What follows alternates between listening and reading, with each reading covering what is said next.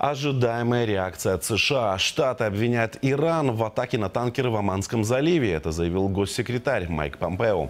Такие выводы Вашингтон сделал, якобы опираясь на данные разведки. Впрочем, каких-либо конкретных доказательств, конечно, не привели.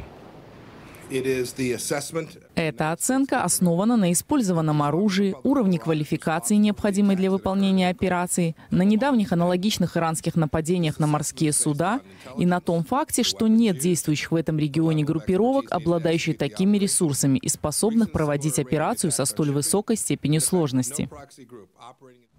США намерены ситуацию поднять на заседании в Совбезе ООН. Тегеран категорически отвергает обвинения Вашингтона, называя их необоснованными. Напомню, накануне в Оманском заливе было совершено нападение на два нефтяных танкера. Суда торпедировали, после чего произошли взрывы и пожары. Экипажи эвакуировали.